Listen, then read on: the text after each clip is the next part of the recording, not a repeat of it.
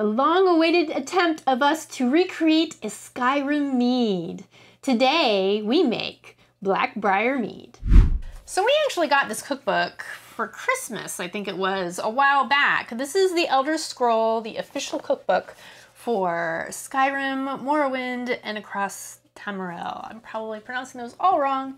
Terribly sorry. However, it's really interesting cookbook. And in the back, they have their drinks. And they start off with a section that they call quick meads. Do you want to talk a little bit about what they're... Sure, and this is why we haven't done this video yet. I disagree with much of what they have to say, so let me go through this. First, before Brian gets into there, he disagrees, but he understands. Yeah, oh, I know why they do some of what they do. Some of it is just what people have done for a long time, doesn't make it right. It just means that's what people have done. They start off with pour it into a, they make half gallon batches, by the way, which is totally fine. I don't have a problem with that. They say, bring, bring water to a boil. Then boil, pour the boiling water over the honey and stir until the honey has dissolved. Okay, now back in the day, people did that because their water was no good. Okay, they boiled the water to sterilize the water. There's nothing wrong with the honey. There's no reason to abuse your honey like that. Boiling honey, unless you're making a bochet, which is a whole different thing, is not necessary. In fact, it's harmful. It can kill off some of the subtler flavors, things like that. Now, how much does it really hurt it? That's debatable, but to me, why even do it if there's just absolutely no need to? Now, if you're using really crappy sewer water, get better water. For real. Okay, just use like bottled spring water or something. You really shouldn't. If your tap water smells like the local swimming pool, you probably don't want to use that either you want to use something that's really good to drink, okay? If you like drinking that water, that's water you should use for brewing, okay? So avoid distilled water because it doesn't have any of the minerals and stuff in it. Not the best thing to brew with, but it is better than using crappy sewer water, just saying. Anyway, then they say to let the mixture cool to room temperature, then add the yeast. Okay, that's smart, but it doesn't even have to cool totally to room temperature. Just below, like say 110 Fahrenheit is fine. Room temperature is like 70s, so that's, that's a lot different. And room temperature changes depending on where you are in the world, so kind of ambiguous. It is too. really important to let that mixture cool before adding your yeast, because if you pitch yeast into a brew that's too hot, you're gonna kill your yeast. Oh yeah. Then fix a brewing airlock to the top of the jug and set a moderately warm place to begin fermenting. Yay, Yay! them! They told people to use an airlock.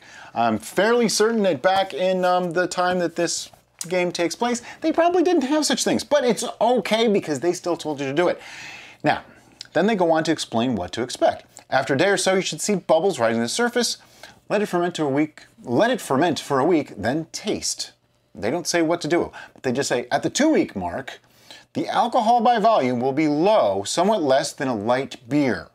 This is a great time to strain out the extra ingredients and start enjoying the mead. Now, let me analyze that for just a moment. They're saying at two weeks, the alcohol by volume should be low.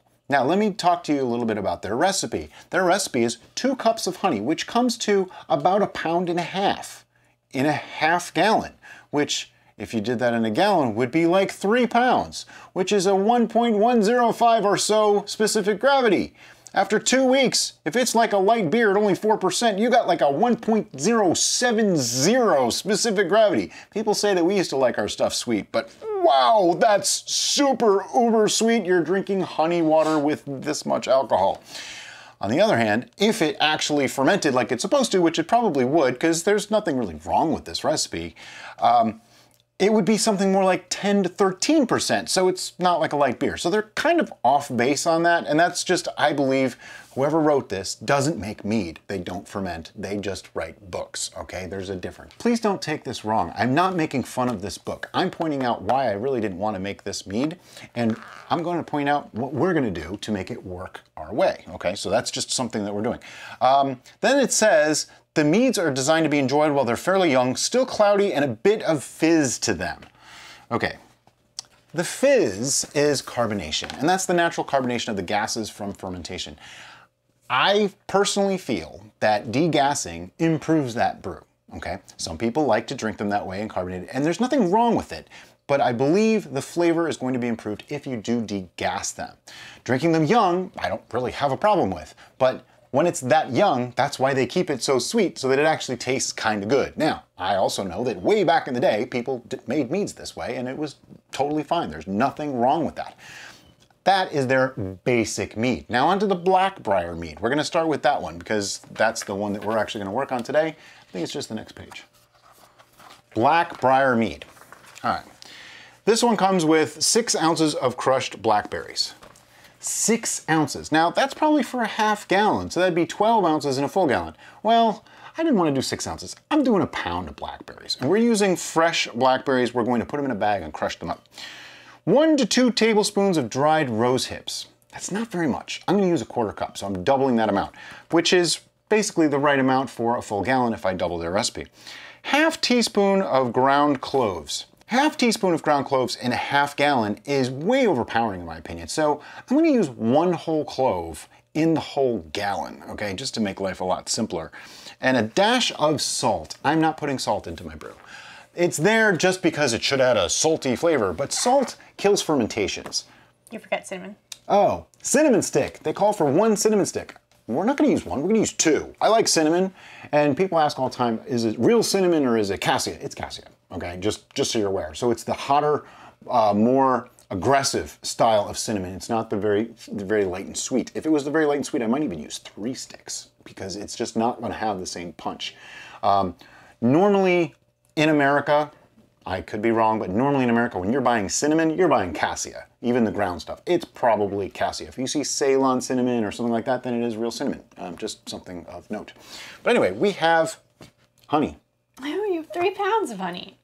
Already pre-mixed. This is wildflower honey because we felt that that would be a nice neutral honey to go with our berries and they actually suggested using wildflower honey in their recipes so we're sticking with that. And this happens to have come from Bevy's Honeybees. So it's a really high quality honey, but use the honey that you can get. Use the best stuff that you can find. If it happens to be wildflower, use that. If it's clover, use that. If it happens to be like an orange blossom or something, use that. I don't see any of those clashing with blackberries. So use the best honey you can come up with and just make it happen. I would suggest staying away from the more stronger, unusually flavored oh, yeah. honeys Exotics. like buckwheat or uh, avocado. Don't, don't use avocado don't honey those. in mead at all. Would be a good thing. Just say it. But in this mead in particular, you want something neutral or you want something that's going to go good with blackberries. Now the one thing that we're going to be adding that they don't do is yeast nutrient. And while it's not probably 100% necessary because we do have the blackberries in there and they're whole berries, so they have all the seeds and all the skins and everything. But um, I just feel like, you know, honey, mead, eh, yeah, any fermentation. I'm starting to like to use Fermaid O in them. Just two grams and a little bit of water. If you can't get that, yeast hulls are okay. Um, if you can't get that, boil up a little bit of bread yeast in some water. It's Or bake it in the oven. yeah, or bake it in the oven. It's not exactly the same. There's not the same nitrogen content, but you know, Fermaid O is pretty cheap. It's easy to get. It's organic. We like it. Just do that. It's so much simpler. So now that we have our three pounds of wildflower honey in here, we're gonna go ahead and add some water so we can start the dilution process of this honey. Just go eh, halfway. This water is warm. I would say it's probably like blood temperature, maybe even a little above that, because um, room temperature is much too ambiguous of a number. But most of our blood runs about 98 to 99 degrees. So you know, pretty much that's a that's a given.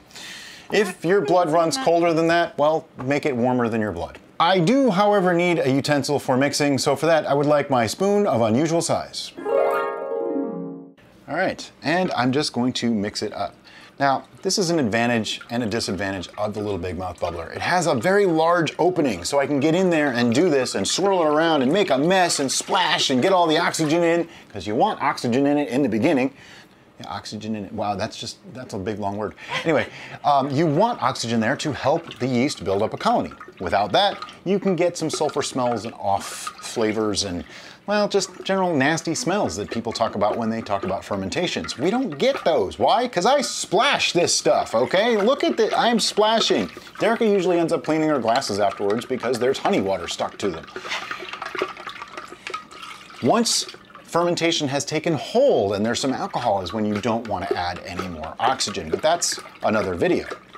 Already, this is smelling so fantastic, and that's because Bevy's. Bees, their honey is just It's a really, really good honey, and you can smell the floral bouquet on this particular Yes. honey. It's Bevy is lovely. actually a sponsor of the show. Yes. We just do have to say that.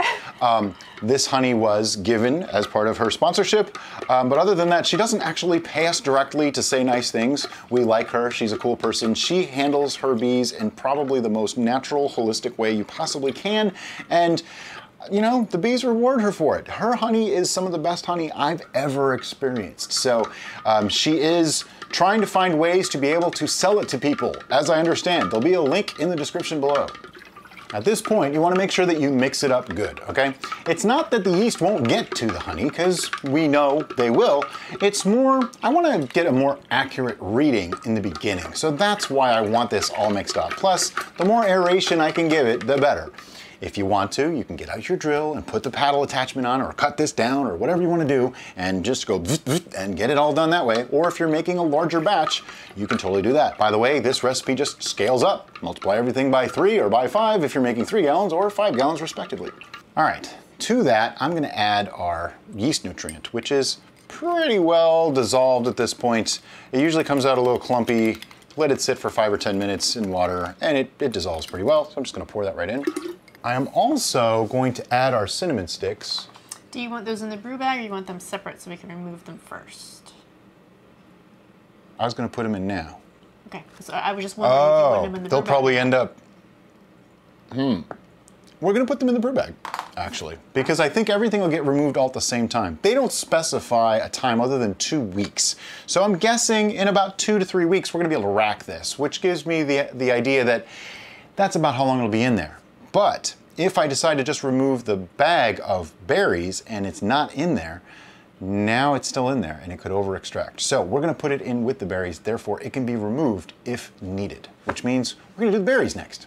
Okay, so I got us a fermentation bag and I've put a fermentation weight inside said bag. Brian will show you the weight here in a moment. If I can find it. Find it. Here it is. Just a piece of glass. And it's all been sanitized. Yeah, they're typically used for making pickles or kimchi or anything like that. Uh, but they're glass, so like Brian said, you can sanitize them, which is a perfect thing to put in to weigh down your bag. And I have our blueberries, no, or blackberries. Blackberries, not blueberries. These are blackberries. Now, ideally, I wanted to freeze these and then be thawed to put in here. These happen to be fresh, so if you're in a pickle and you have to use fresh, use fresh. Okay, there's nothing wrong with that. But frozen is perfectly acceptable as well. Um, the only difference is you're gonna wanna mash up the fresh ones a little bit more because the cell walls have to be broken. So for that, I have sanitized potato masher. Now you want to be careful because you're in glass. You don't want to scrape anything. And you also got your last weight in there. Yeah, so, so I just want to kind of gently do this. You can throw them through the blender if you really want to. I didn't find a need. So I'm just giving these a quick mash. It's not even really necessary to do because they'll they'll break down. They'll the, the yeast will get to them. Um, this just gives it a little bit more help, and you can see it's already working. The color is changing drastically. Plus, I mean, they're blackberries. It's not like they take a whole lot of pressure to break up, you know. You do want to be careful that you don't break your bag, though. That's kind of important too. All right, that's enough. I don't really think I need to do much more than that. So let's do. Now what I want to do is rinse down the mash into there. I'm going to tie this bag off. Do you want to put your spices in first? Oh yeah, I want to put the spices in first. See, this is why there's two of us. So we're gonna add our two cinnamon sticks. We're gonna add our one clove spice. You know, now that I'm really thinking about it, I think I'm going to add two cloves. That's right, living dangerously. Well, I thought about it, and we've used two and three cloves in a brew before, and they're calling for half a teaspoon in a half gallon. That'd be a teaspoon in a full gallon. Two of these is not a teaspoon. Okay. So I'm guessing that they expect it to be a. So I'm guessing that they expect it to be a strong flavor component, and I, I was thinking about that. That I, I think we might be straying too far from the original intent. So, right. Uh, and now we're gonna put the rose hips in. Oh yeah, rose hips too. Now these, we've had these for a while. Didn't really know what to do with them. They're just these weird little things, and I don't, I still don't know what to do with them. But I'm gonna just throw a bunch of them in here. Okay, there's a story behind this. We had a rose mead that we tried making, The Rhodomel. the Rhodomel, and uh, we were using rose hips in it originally. And um, Brian Let's- is not a patient man. no, let's just say they ticked me off a little bit. They're just this weird dried thing with seeds inside, and it, they do not taste good. I made a tea with them. They don't taste good. They don't look like they should do anything. They don't have a purpose, okay? And that just bothers me. And I couldn't figure out what to do with them. And I'm, in this, I'm dubious as to their ingredient. Do you, do you know how many you're putting in? Yeah, I'm, I'm putting in a quarter cup. Okay, I'm, just checking. You, you weren't sharing that information, so I'm. I'm oh, I thought I said it earlier. It's a quarter cup of rose hips, by the way. And I'm, I'm eyeball, eyeballing it because I don't really think it matters. I don't think you're going to taste these at all. So, you know, it's just one of those things. This has nothing to do with why I didn't want to make this recipe, by the way. It's not that I didn't want to make these. It's I like making my own. I don't like using other people's stuff. I don't want to have to copy someone else. I like We're not copying. We're using it as a jumping off point, obviously. Yeah, and that's how she talked me into doing it. Actually, like a million people asked us to do these, so we're like, okay, we'll make it. All right, quarter cup of rose hips. We got that, that, that. Okay, you can tie the bag. Now I can tie the bag. Yay! Non più tra i farfalloni. Trying to not leave a lot of loose anything because I don't want it to float. The whole point in using a bag is to keep everything submerged and in there and contained. We have collected a rather vast selection of brew bags Because over they all the years. suck. I don't like brew bags. And so our favorite bag, funny enough, is a nut milk bag. Yeah, just for straining out um, like soy milk and cashew milk and stuff like that. We have two of them. They're both currently in use, so I have to wash my hand. Now, I say I don't like bags. Um, there's a reason. They make for more mess in the beginning and less mess at the end. But they still make a mess because I still had to get my hands in there and touch everything and get all honey covered and there's just I, I don't know. I don't I don't really see the purpose behind them. Do they save a slight amount of loss at the end? Maybe a little bit. Okay, somebody's going to argue with me and say that they save a ton and they okay. Everybody has their own experience. In my experience, they're a lot more trouble than they're actually worth. so at this point we're going to add more water. Yes. She's just trying to get me to stop ranting. They also hold air, which is usually an issue. And I don't like the fact that they float a lot of the time. That's why we started adding, okay, ooh, that's good. We started adding the weight to them. And I think, Do you want to use that or do you want to use this? yeah, yeah. You're right.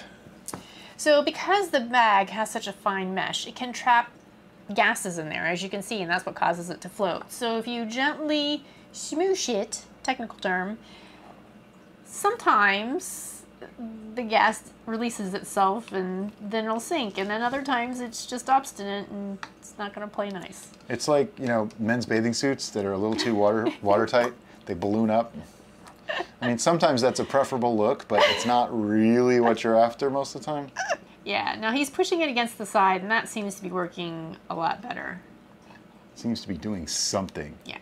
Your, your poof is, is lessened. I want no poof. this is a no poof brew. Get in there. Yeah, it's it's fine. Fine. It's great. It it will actually subside a little bit over time. Okay. I don't need this anymore. Do you mix it enough that we get I, gravity I, I mixed it enough for a gravity reading, yes. Okay. Okay, next I'm going to take a gravity reading. Why do we take gravity readings, Derek? We take gravity readings so that way we have an idea of comparison so we know what our brew is doing. Is it fermenting? Is it done? Is it stalled? All these things we can ans- answer easier if we have readings along the way. That is by far the majority of reason why you take a reading. The other reason is, you know, so you can calculate how much ABV is in there. If you really needed to know such things. I don't know of anybody that says, oh, I can't drink something that's over a certain. I know, she keeps telling me to do this. I don't know people that have like a, ooh, I can't drink something that's above this limit, you just drink less. Or, I can't drink something below this limit, drink more. Okay, we're at 1.096. Let me make a note of that. Which is within like four points or nine points of the absolute number that it should be for honey. So I'm fine with that. What do I mean by that? Well, in general, one pound of honey in a one gallon must, not and one gallon of water. One pound of honey in a gallon of pre-made must would be about 1.035 gravity. So if we have three pounds, it'd be 1.105 gravity. We're at 1.096 gravity, which means really, really close. So we're a little bit more diluted than that. So now is the time to add our final ingredient. And that ingredient is our yeast. Red Star Premier Classique. And why are we using Red Star Premier Classique? Because I did research on what was the best yeast for fermenting blackberries, and somebody said use this, and I said, okay. Yeah. Um, a lot of the time, that's the research that we do on yeast. We look around on the internet, see what other people have done, see what worked best for this, what worked best for that. Also, see what works in each environment because we're in a warm environment and we keep our house warm. So, our situation is a little bit different than maybe yours might be. So, everybody's a little bit different. Your results may vary, is basically what I'm getting at. And here we go. Now, Red Star.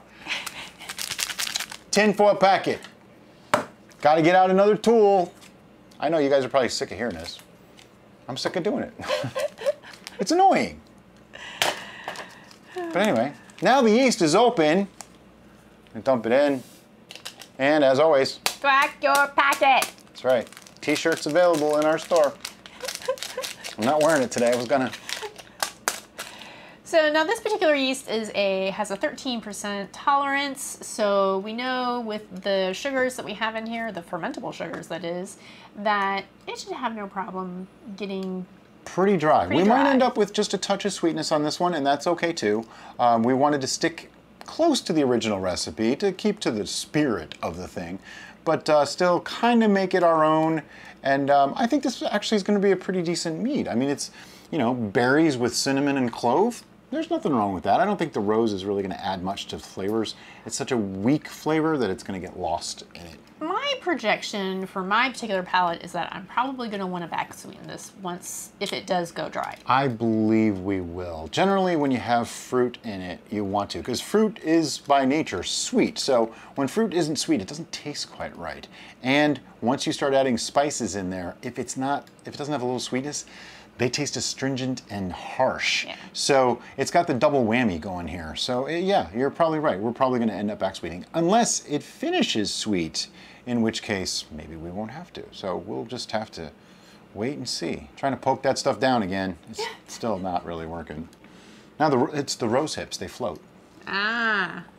Well, yeah, as they they're hollow, so as they fill with water, Yeah. they might uh, they might sink or just sit there. Who knows what they're gonna do? But next, lid on.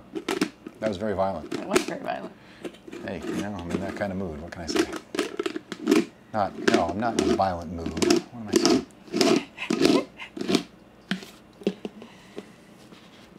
The trick to these is crank it on as much as you can because the seal in there is super thin and it can deceive you. You might think that it's not sealed up and not working, but in reality, look at the side. If you see little bubbles, it's working. But now I need an airlock.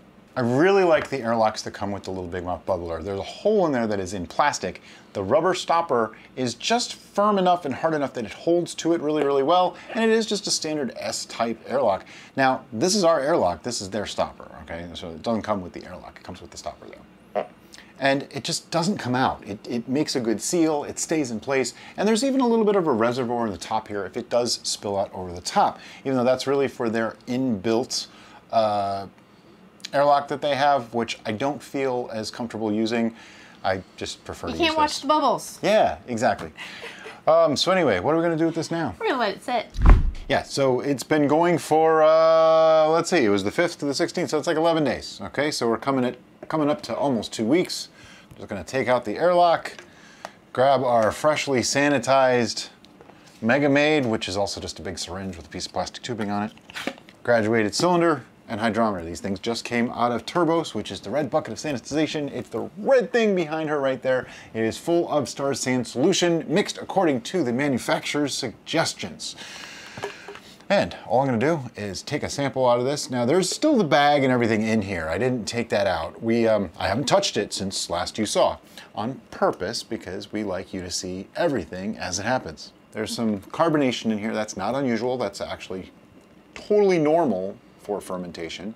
It should be building up some CO2 along with the ethanol. It does, however, make getting a sample a little bit more tricky. If you make sure when you are depressing your plunger, if you use one of these to keep it upright like Brian is now, that'll make the foam, foam float to the top. So hopefully you can minimize the foam getting into your graduated cylinder. Hopefully. Hopefully. Doesn't always work that way. Are we floating? I have no idea. No, Nope. we are not floating. Did not get a big enough sample. I think I was stuck against the bag. Yeah. That is a difficulty of taking a sample with the bag still in there, is that lots of times if your the end of your tube gets pushed up against that bag, it's just gonna not suck. It doesn't suck. It doesn't suck, which actually sucks. It's floating. And our show just took a very different turn. All right, I am now done with this. And that probably just splashed everywhere. Okay, so this is our first reading. Um, technically, it's our first of the last readings. Our first reading was 1.096, and it is, to me, it's kind of important to get that decimal point in there and use all the digits because if I just said 1.09, I'm leaving off a digit. If I say 109, that doesn't mean anything. If I say 1096, some of you know what I mean, but not everyone.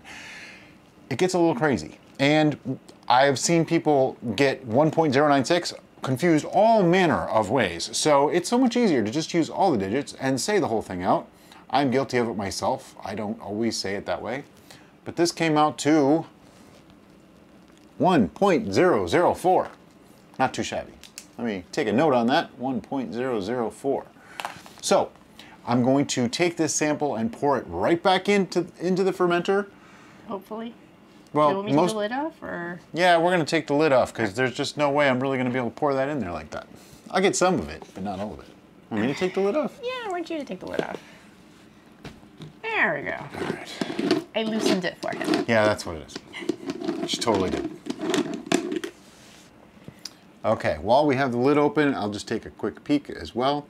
The bag is floating above the surface a little bit, which I don't really like, but nothing is dry. Everything's still staying wet, so we're gonna put the lid back right back on. You wanna make sure that that cap stays wet, um, just because untoward things can happen. You know, we don't want that to, to occur. It does smell kind of nice right now. Lock that in there and put the airlock on. Now one thing I want to do is get this a little shaken up. It's not just to degas it slightly, it's also to keep that bag wet, move everything around. If there's anything, la any last fermentation left to go, I want to get that in there. We did use Premier Classique, which is like a 13% yeast on this one. It's probably pretty close to 13%. I can figure that out in just a second. We're hoping the shake up degasses it slightly, which it looks like it is. Oh, yeah. That's going to help the yeast maybe be a little bit more comfortable in their environment. Nothing really likes to swim around in its own waste product, so if we can get some of those unwanted gases out, all the better. So we started at 1.096, we're at 1.004 times 135 gives us 12.4%. So being that this is a 13% yeast, it's close to its tolerance, it might be finished. And that means it just left a little bit of residual sweetness, and that is okay. The only way we're going to know for sure if it's finished or not is to wait a week and take another gravity reading. That's the trick. We do have a video on that, but essentially it's take a reading, wait a week, take another reading. If they are the same, you're probably done. If they are different and it's going down, wait another week, take another reading. When those readings come back the same, or you know, within like a point or two. I mean, you don't have to get like super crazy about it. You want them to be very, very close to the same, and you want them to be in the realm of what you expect nor- normally done to be. And I actually did a video on that too, but that requires a little bit of math and calculating what your original gravity was versus your final gravity versus your alcohol tolerance level of your yeast. So what are we gonna do with this? We're going to let it sit. See you in a week.